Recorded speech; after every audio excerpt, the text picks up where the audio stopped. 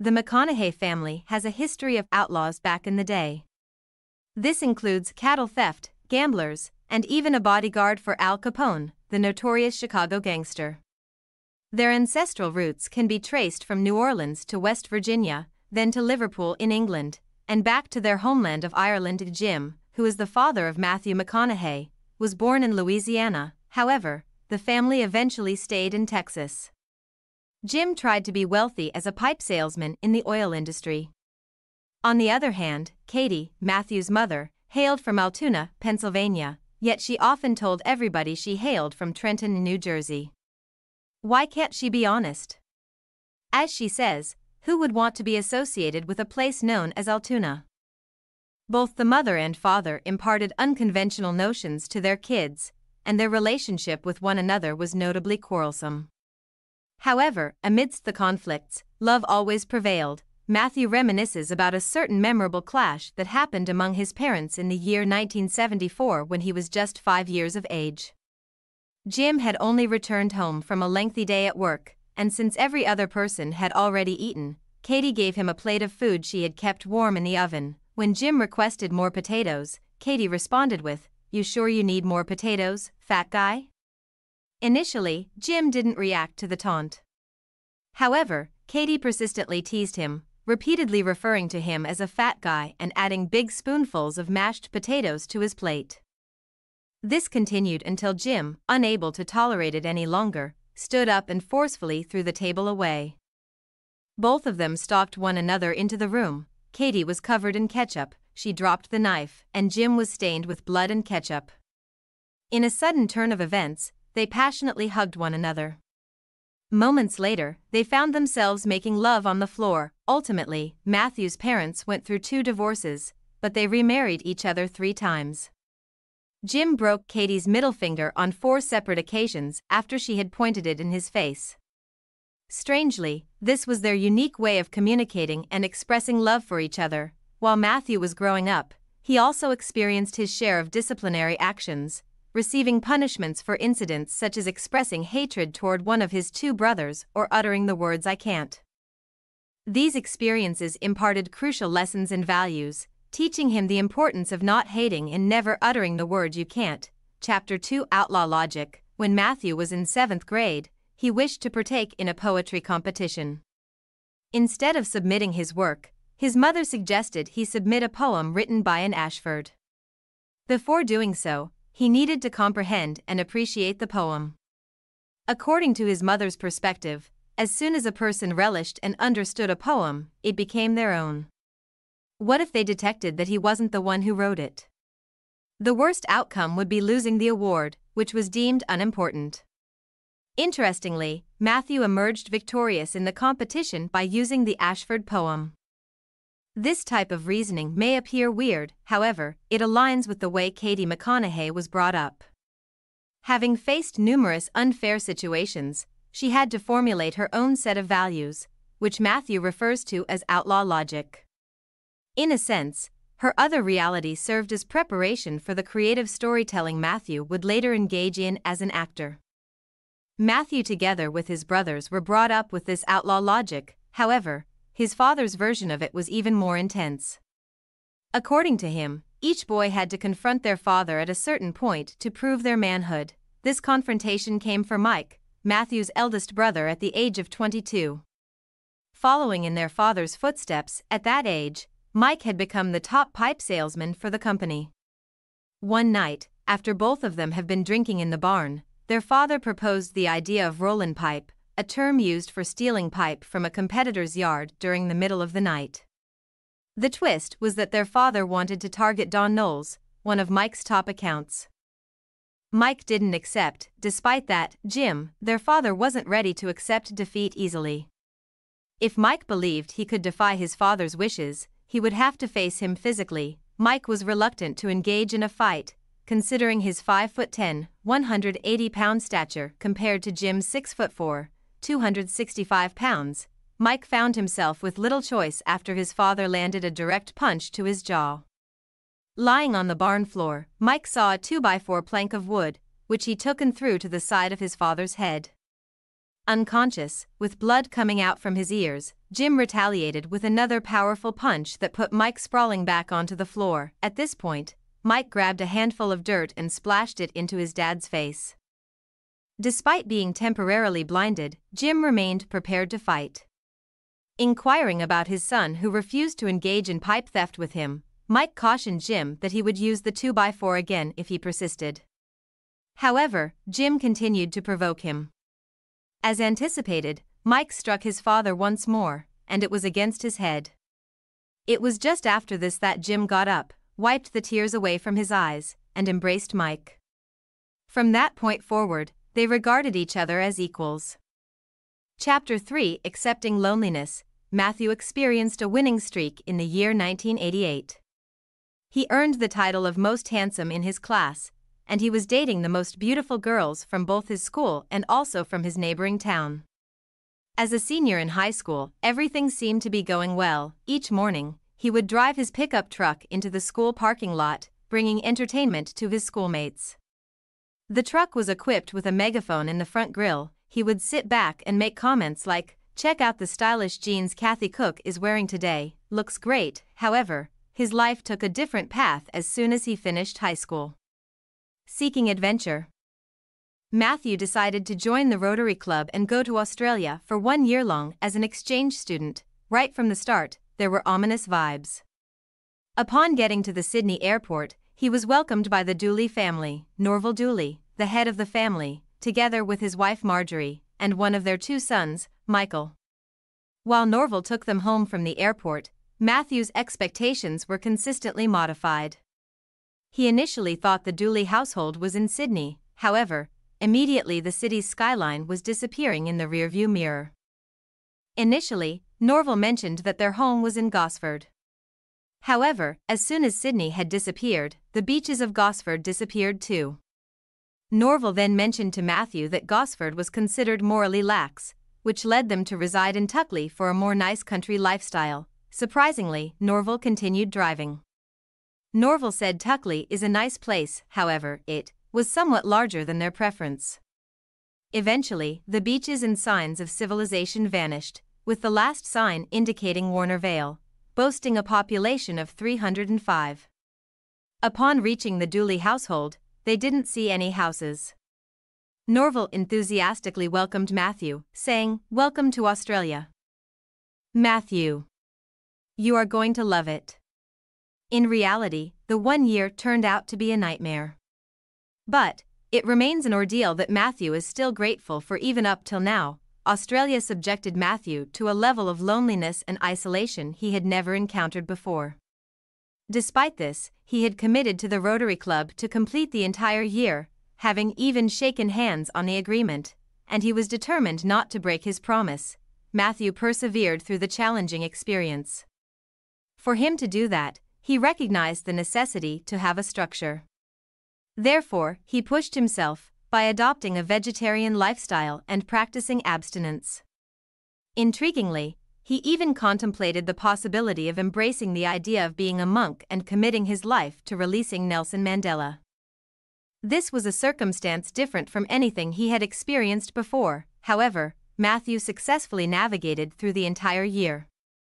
It took some time for him to understand, however, the hardship and isolation in Australia eventually led to a positive experience. This journey compelled him to introspect, discovering his true self beyond the influences of relationships, family, and fame. Retrospectively, he acknowledges that the trip played a crucial role in shaping the person he has become. Chapter 4 Career Changes Upon returning from Australia, Matthew had his eyes set on Dallas, specifically considering Southern Methodist University as his next significant life step. However, his father persistently questioned his choice Are you certain? How about being a Longhorn? He was referring to the mascot of the University of Texas at Austin, Although Matthew had submitted his application to UT Austin, he was leaning towards a legal career during that moment, believing that Dallas would offer more opportunities in various law firms. His father continued to inquire about the University of Texas. Again, Pat, his brother, contacted him questioning him on the same thing. But this time around, Pat put more insight into the matter. UT was a state school and Southern Methodist University was private, and their father was facing financial challenges due to the fall in the oil business. Opting for a state school like UT would be more financially feasible. Pat also enthusiastically endorsed Austin, describing it as a welcoming place where you could enter a bar with flip flops and find yourself seated next to a cowboy, a lesbian, and a Native American, all while being served drinks by a short person. It's your type of town, Pat said to him. With this new information, Matthew's decision was made. Two years later, Matthew found himself less enthused about pursuing a career in law. The realization dawned on him that with the extensive education and experience required, his 20s would pass away before his law career even took off. Fortunately, his friend Rob Bindler introduced another idea. Rob, having read Matthew's short stories, proposed that he explore film school. Initially, the idea seemed nearly weird and self indulgent, but it gradually took root in Matthew's mind. He eventually had to call his father to tell him it wasn't an easy phone call. Matthew moved around, contemplating what to say and when to say it. Finally settling on 7:30 p.m., a time when his dad would have finished having his dinner and be unwinding with a cocktail in front of the television, Matthew prepared to share the news, anxious and sweating. He dialed his number at 7:36 p.m. His father said, Hey little buddy, what's happening? Taking a deep breath, he told him what was going on. Law school simply didn't feel like the right path, and he desired to attend film school. After five tense seconds of silence, a calm and curious voice broke through the phone. Contrary to Matthew's fears, his dad wasn't upset, he just wanted assurance that this was genuinely what his son wanted. Matthew affirmed his decision. Well, don't half ass it, his dad said. It turned out to be the ideal response, a resounding green light for Matthew's new path. Chapter 5 The First Break. Upon starting film school at UT Austin, Matthew could sense the difference. At UT Austin, grades held little relevance in the work search. He knew he had to do something to get the attention of people. Despite not showing up for classes, he was determined and dedicated from the beginning. He secured representation signed with a local talent agency and secured a few small roles. However, it was an opportunity that brought him into the spotlight.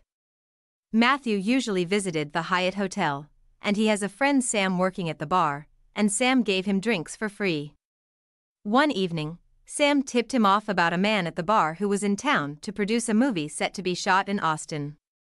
That man turned out to be Don Phillips, Don liked playing golf and he enjoys vodka tonics, these were two things Matthew liked as well. Matthew had a drinking session with Don. After a few hours, the Hyatt staff had to lead them out. Then they got into the cab after that, sharing a joint, and it was at that point Don asked the question, telling Matthew about a role in the movie he was working on that seemed made for him. Don said, Just come to this address tomorrow morning and take the script, the film in question was Dazed and Confused, a now adored movie that was written and directed by Richard Linklater. Matthew McConaughey was cast for the role of Wooderson, a goo around 20 something who still lingers in town, enjoying parties with high schoolers. In the first script, Wooderson was only given three scenes, however, this changed on Matthew's first day at the scene. Upon Matthew's arrival, he wore his Nugent t shirt, a Black Panther tattoo on his forearm, and had his 1970s beard. Linklater examined him and was thrilled. He then said, This is good, this is Wooderson. Immediately, the director began to get new ideas. Matthew and Linklater had what the author terms verbal ping pong, a dynamic they have continued in their long enduring friendship. Immediately, Linklater proposes a new scene for Wooderson, where he attempts to woo a red headed smart girl. Curious about Wooderson's preferences, Linklater asked Matthew if he thought Wooderson would like that kind of girl. Matthew's response was, Sure, man, Wooderson likes all kinds of chicks. Ultimately, what initially comprised three small scenes evolved into a three week job for Matthew. During the first week of the three weeks, Matthew received the startling information that his father had passed away. Jim McConaughey woke up one morning and had sexual intercourse with his wife. Unfortunately, he experienced a heart attack and passed away after reaching climax. While it may seem strange, he had informed his sons, When I pass away, I am going to be making love to your mother. And that's precisely how it transpired. Chapter 6 Stardom. While Dazed and Confused played a role in getting Matthew into Hollywood, it was another movie that brought him to stardom. This film was The Time to Kill, an adaptation of a book by John Grisham book and it was directed by Joel Schumacher. At first, Schumacher considered Matthew for the role of a Ku Klux Klan leader. However, Matthew was determined to secure the main character of the lawyer, Jake Brigance. Matthews had thorough preparation, including reading the book the movie was based on. Even though Schumacher liked Matthews' boldness and his idea, he was aware that the studio might not agree with the casting. Unexpectedly, the studio's original choice for the male lead, Woody Harrelson, was removed from consideration. This sudden decision followed a real life murder by a man and woman in Mississippi, where the perpetrators claimed to be stirred by the film Natural Born Killers, in which Harrelson played one half of a serial killing couple. Seizing the opportunity, Schumacher decided to shoot a test scene with Matthew, intending to present it to the studio heads. While it was a hard shot, Matthew was keen to demonstrate that he was the right person for that part. The test scene focused on the climactic final summation in the courtroom, a pivotal and nerve wracking moment. Despite being nervous, Matthew was well prepared and knew his lines by heart, when Schumacher instructed him to start at his own pace, he delved into the scene, hitting all the right beats, exactly what he was meant to do. However, it lacked the wow factor.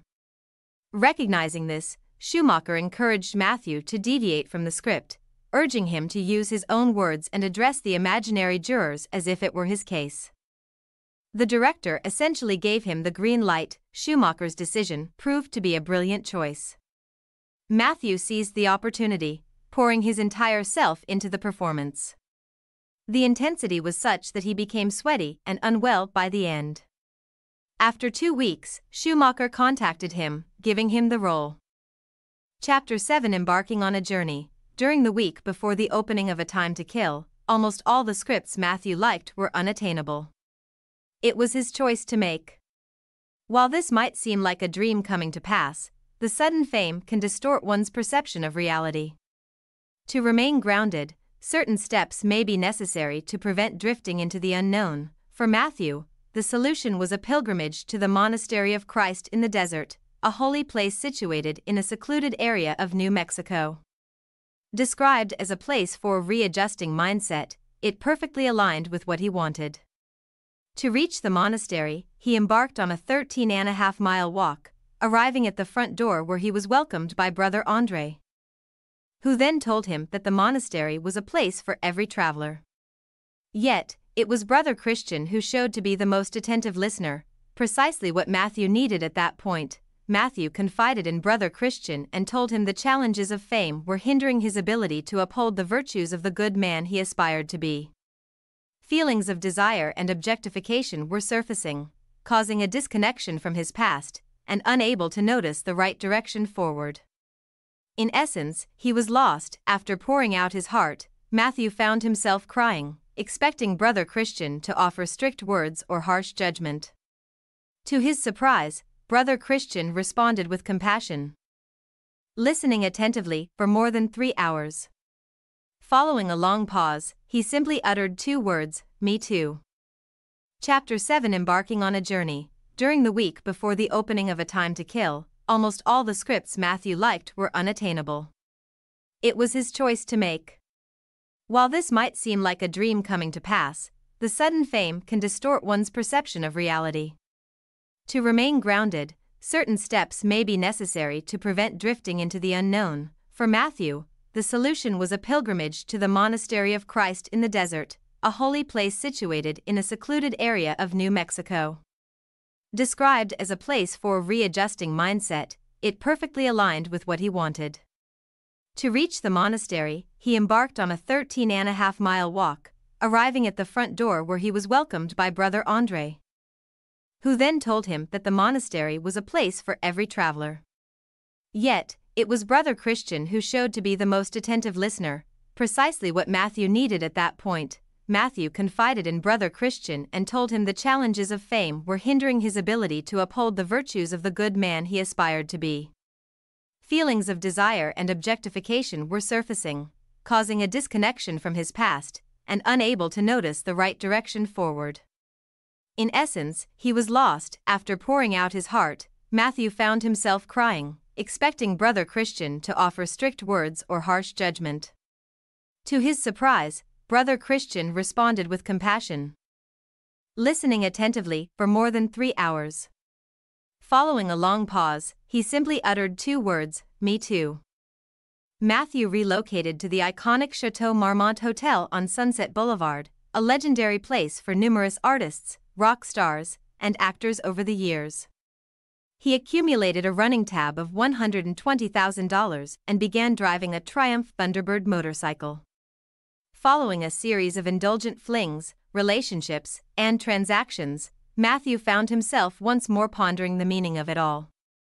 While some might label it an existential crisis, Matthew prefers the call it an existential challenge, a test he was more than willing to deal with. Luckily, Matthew got the ideal role to help him navigate through this phase. The film was Reign of Fire, a departure from romantic comedy. He played the role of Denton Van Zan. And, in Matthew's words, was an apocalyptic badass dragon slayer, for his role, Matthew opted to completely shave his head, driven by two reasons. Firstly, he believed it suited the character, and secondly, he had been experiencing a receding hairline and wanted to apply a serum, Regenix, which was purported to be more effective on a bald head.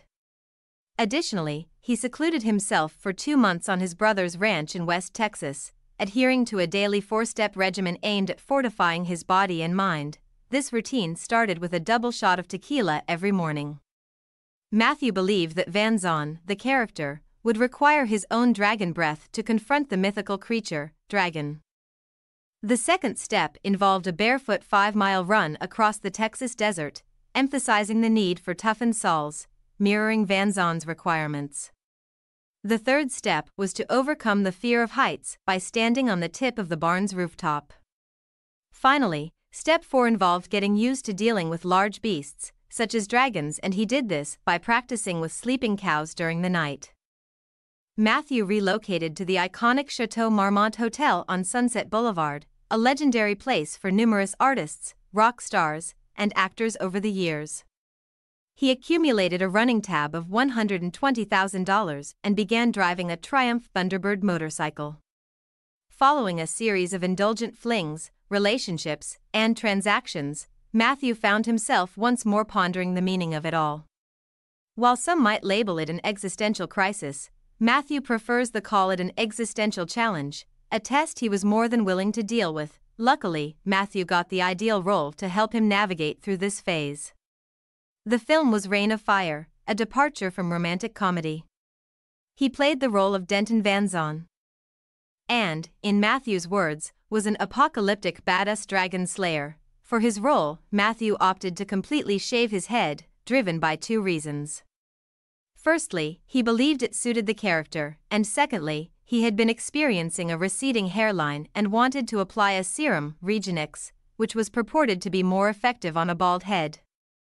Additionally, he secluded himself for two months on his brother's ranch in West Texas, adhering to a daily four step regimen aimed at fortifying his body and mind. This routine started with a double shot of tequila every morning.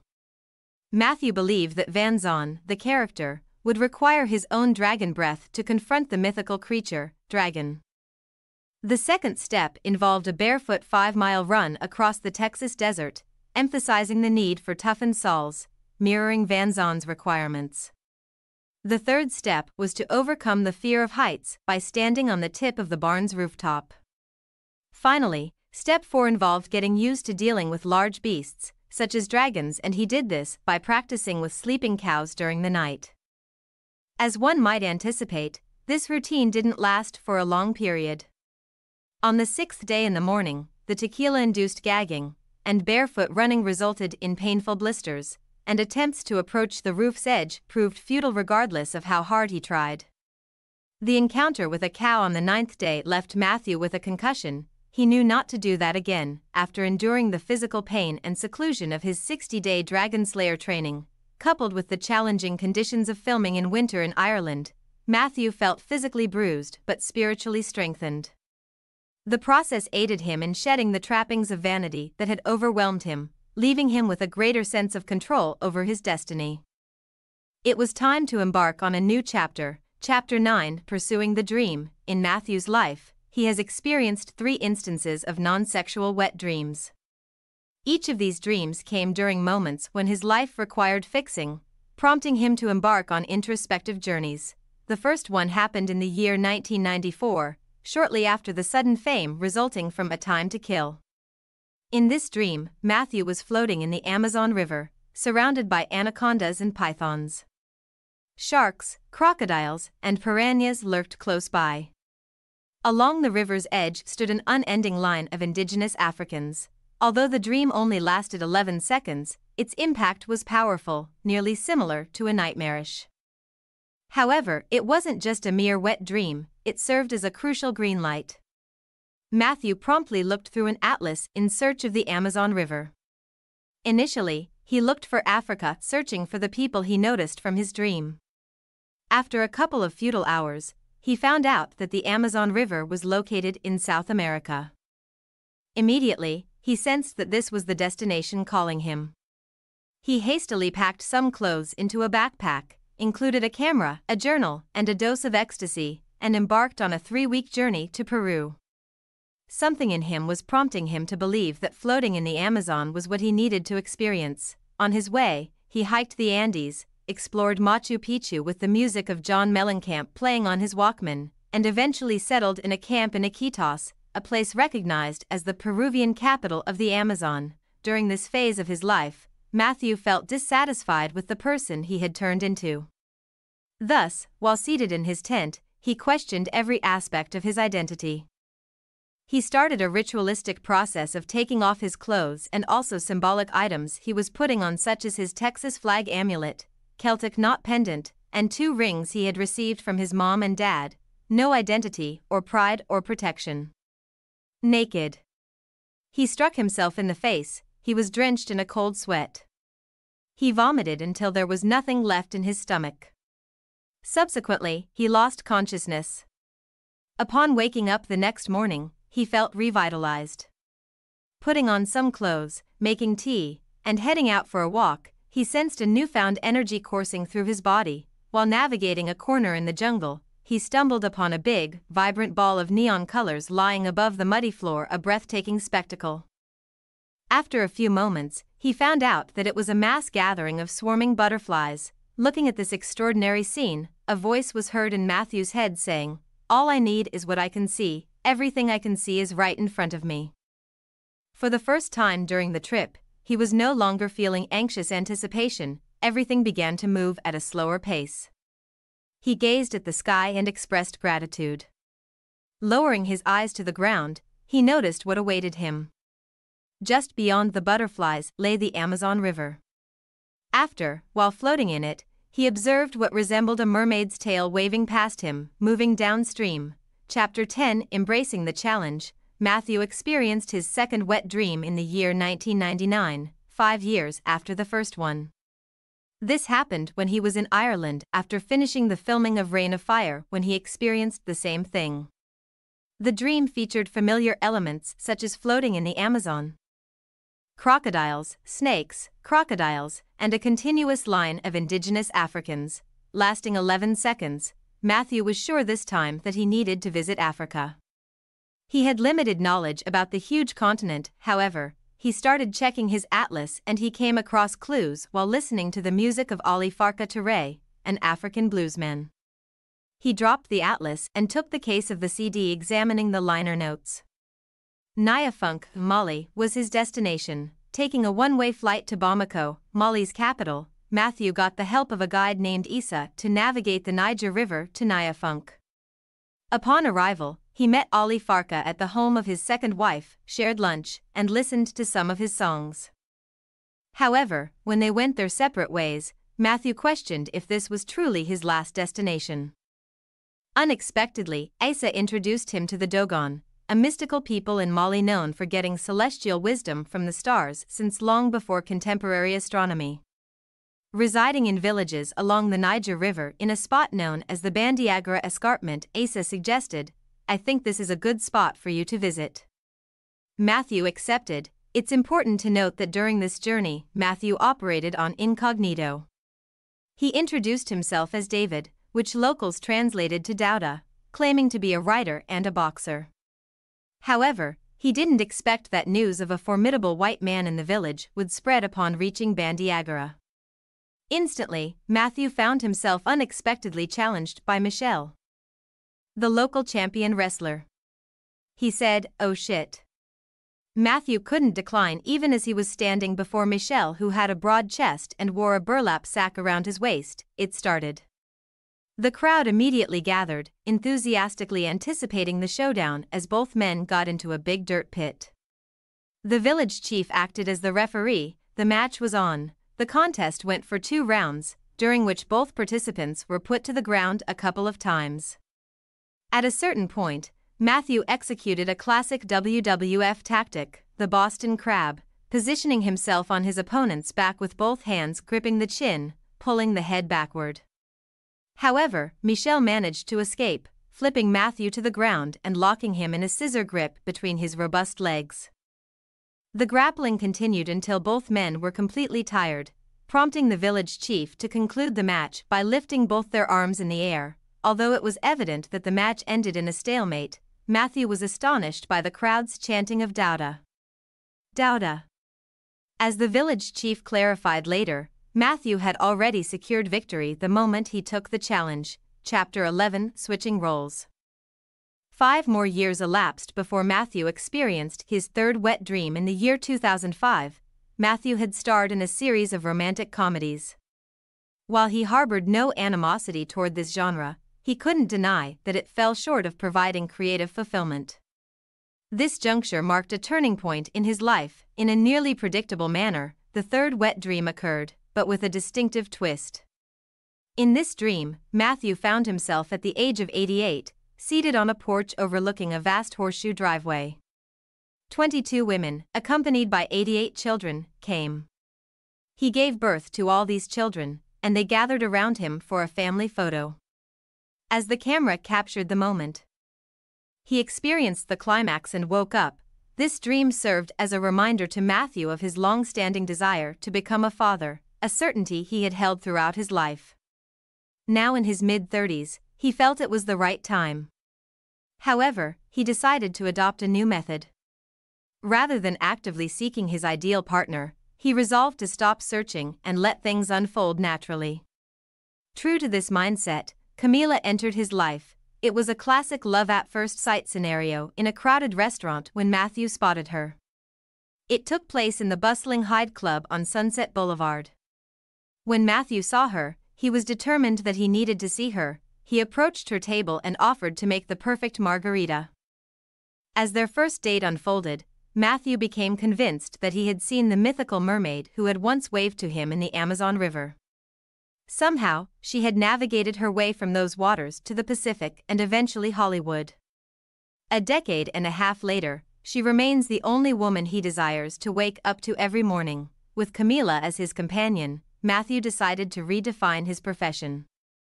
He informed his agent that he was no longer interested in romantic comedies and had no intention of seeing other scripts for such films in the future. This decision carried risks since Hollywood tends to overlook those who turn down a lot of offers, however, there was a clear conviction that it was the necessary course of action. Despite tempting offers exceeding $14 million for lead roles in romantic comedies, Matthew stood by his decision. Consequently, the offers ceased completely, Matthew found himself without work for two years. However, during this time, he embraced fatherhood twice, keeping himself occupied. Ultimately, Hollywood began to perceive him as a refreshing and promising presence. It all began with roles in The Lincoln Lawyer and Killer Joe. Subsequently, his longtime friend Richard Linklater offered him a part in Bernie. Jeff Nichols tailored a role in Mud specifically for him, and Steven Soderbergh cast him in Magic Mike, people started speaking about the McConaissance. Interestingly, many were unaware that Matthew himself originated the word during an interview with MTV. Chapter 12 Wild and Crucial Dallas Buyers Club stood apart from other films. In 2007, Matthew came across the script and got attached to acting as the lead role of Ron Woodroof, a real life figure who had devised his program for distributing HIV medication. However, it was not until January 2012 that production eventually progressed. When the Canadian director Jean Marc Vallée got involved, Vallée initially had reservations about Matthew's fit for the role. Given his well known physique, how could he convincingly portray a man with stage for HIV? Yet, Matthew assured him that he would handle it. They devised a plan to be ready by October 2012. Leading up to production, for five months, Matthew aimed to lose two and a half pounds each week. His daily diet consisted of three egg whites for breakfast, while lunch and dinner consisted of five ounces of fish and one cup of steamed vegetables. On a positive note, he was allowed as much wine as he desired, the diet achieved the intended results, and Matthew steadily lost pounds each week. At 157 pounds, he filmed a few days' worth of scenes for Martin Scorsese's film, The Wolf of Wall Street, portraying a broker named Mark Hanna. Hanna's success secret involved cocaine and prostitutes. This was what he required to know to embody the character authentically. He went off script during a scene with Leonardo DiCaprio, delivering what he describes as a lunatic to the marvelous musical riff rap. For the role of Ron Woodroof, Matthew gained more direct insight. Woodroof's family graciously welcomed him into their home, engaged in conversations, and even shared Woodroof's diary and 10 hours of voice recordings. These materials provided a profound understanding of Ron, with Vallée's sensitive direction and the wealth of information in his reach, Matthew delivered a performance that garnered praise and awards. The awards season coincided with the airing of a new episode of True Detective every Sunday night, where Matthew immersed himself in one of his best roles. The remarkable detective he ever came across Rustin Cohle. This series also provided him the opportunity to collaborate with his close friend and brother from another mother, Woody Harrelson. At last, Matthew discovered enduring fulfillment in his career. Delving deep, he crafted different characters from within, narrating stories that were wild and crucial. He positioned himself in the right spot to secure green lights and maximize their potential. According to Matthew, the key to his success lies in embracing the inevitable. For everyone, the certainty is that this journey will eventually end at a point.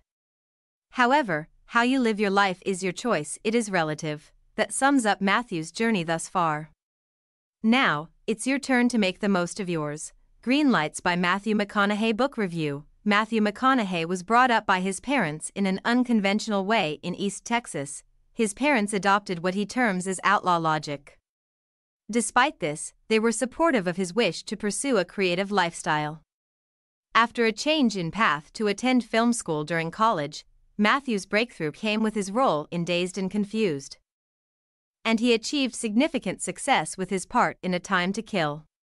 Coping with sudden fame proved challenging for Matthew, however, after some introspection and pursuing prophetic wet dreams, he discovered possibilities to drop vanity and concentrate on what truly mattered. With support from his wife, Camila, he ultimately learned to prioritize family, reshaping his profession away from romantic comedies to interesting and original dramatic roles.